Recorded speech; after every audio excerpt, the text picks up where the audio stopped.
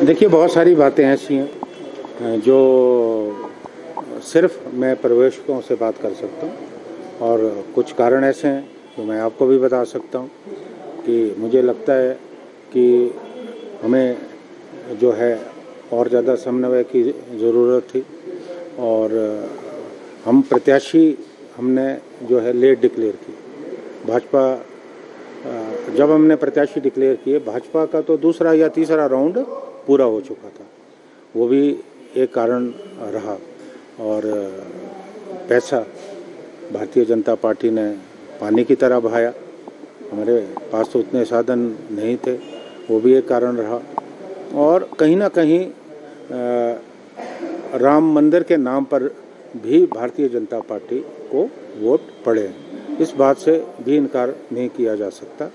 लेकिन इसका मतलब ये नहीं है कि हम सारा का सारा पल्ला झाड़ दें। जहाँ हमें लगता है कि हमें और ज़्यादा इम्प्रूव करने की ज़रूरत है। मैंने तो चुनाव के नतीजों के बाद भी ये बात कही थी कि हमें चिंतन और मंथन करने की ज़रूरत ज़रूरत है। अगर किसी घर में कूड़ा ज़्यादा हो जाता है तो उसे कारपेट के नीचे ढकना गलत है। हमें सफ़ाई करने की ज़रूरत है। तो निश्चित तौर पे हमें सफ़ाई की ज़रूरत है। सर लगता है कि मोदी फैक्टर भी कामयाब रहा है इन चुनावों में? हम्म, कुछ हद तक। मैं शत प्रतिशत नहीं कहूँगा लेकिन प्रभाव जो है डाला है। क्योंकि जिस ढंग से राम मंदिर के नाम पर एक माहौल पूरे देश में बनाया गया ये अलग बात है। कि हिमाचल उत्तराखंड और मध्य प्रदेश को छोड़कर इसका असर नहीं हुआ अयोध्या में असर नहीं हुआ। क्योंकि अयोध्या में जो भारतीय जनता पार्टी का प्रत्याशी था वो चुनाव हारा। वहाँ तो असर नहीं हुआ लेकिन कहीं ना कहीं असर जो है इन राज्यों में हुआ। सर ये माना जाए कि अफसरशाही भी कहीं ना कहीं हावी है क्योंकि ज़्यादातर नाराज़गी जो ये देखा गया कि मुख्यमंत्री से नहीं है लेकिन जो काम होते हैं वो धरातल पर नहीं हो पाते मुख्यमंत्री के साइन होने के बाद भी साइन। देखिए एक विधायक होने के नाते मैंने इस बात को महसूस किया। मैं सभी अधिकारियों की बात नहीं करता, लेकिन कुछ अधिकारी सक्षम नहीं मैं सभी की बात नहीं करता, अच्छे अधिकारी भी हैं, लेकिन जो सक्षम अधिकारी नहीं है, निश्चित तौर पे हमें सोचने की ज़रूरत है, क्योंकि अफसरशाही को सरकार का निर्णय जनता तक पहुंचाना, उन्हें लागू करना अफसरशाही की जिम्मेवारी है। इस विषय में भी मुझे लगता है कि हमें सोचने की ज़रूरत है। तो सर कमेटी के सामने के इस बारे में बात की गई है कि संगठनात्मक स्तर पर या सरकार के स्तर पर कुछ परिवर्तन करने की आवश्यकता है। नहीं देखिए वो हम अपनी राय देने वाले कोई नहीं होते कि क्या होना चाहिए। वो पार्टी आला कमान खुद फैसला लेती है। लेकिन ज़मीनी स्तर पर जो हमने महसूस किया और विदाउट एनी प्रेजुडिस क्योंकि मुझे किसी से कोई शिकायत नहीं। जो एक संगठन का व्यक्ति होने के नाते संगठन के प्रति मेरी निष्ठा छुपी नहीं है। जो बात मुझे लग, लगी कि पार्टी को किस तरह से हमें मज़बूत करना है क्योंकि अब ये चुनाव तो निकल गए लेकिन ती, तीन साढ़े तीन साल का समय विधानसभा में और ये समय बीते कोई पता नहीं लगता। और जिस तरह का कन्फ्यूज़न पिछले छः महीने में हिमाचल की राजनीति में रहा है वो प्रदेश के लिए भी अच्छा नहीं क्योंकि अब इस सोच की ज़रूरत है कि हमारी सरकार बनी है।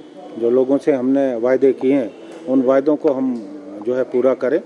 हम अफसरशाही पे लगाम लगाएँ और सबसे बड़ी चुनौती प्रदेश की वित्तीय स्थिति की है। इसे भी हमें देखने की ज़रूरत है, क्योंकि लगातार कर्जा बढ़ रहा है।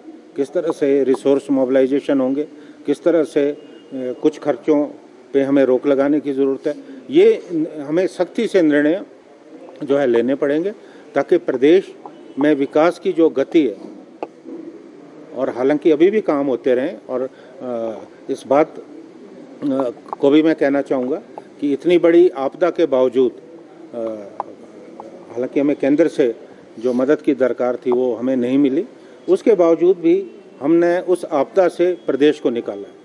सरकार ने निकाला है, सरकार भी बधाई की पात्र है, लेकिन यहाँ हमारा काम खत्म नहीं होता। विकास में निरंतरता जो है बनी रहनी चाहिए। और से बातचीत क्या लग रहा है आपको? सरकार क्या गया और उनके सामने क्या देखिए सबसे पहले तो मैं पार्टी आला कमान के फैसले का स्वागत करता हूँ कि उन्होंने दो बहुत ही वरिष्ठ नेता पुनिया साहब श्रीमती रजनी पाटिल जी उन्हें हिमाचल जो है भेजा। अभी लोकसभा के जो चुनाव के नतीजे हैं, वो हमारे अनुकूल नहीं रहे। दोनों प्रवेशक विस्तार से जो हमारे पार्टी के विधायक हैं, हमारे जो है प्रदेश के, ज़िला के, ब्लॉक स्तर के जो पदाधिकारी हैं, उनसे फीडबैक ले रहे हैं। और उस फीडबैक के बाद वो पार्टी आला कमान को जो है अवगत कराएँगे। पार्टी का कार्यकर्ता होने के नाते मैंने भी जो है अभी उनसे मीटिंग की, क्योंकि मैं पूर्व में अध्यक्ष रहा हूँ।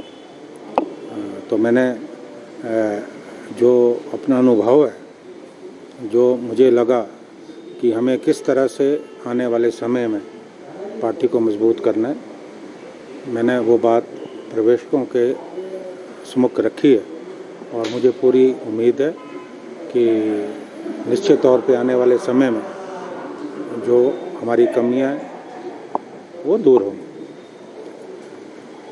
कारण?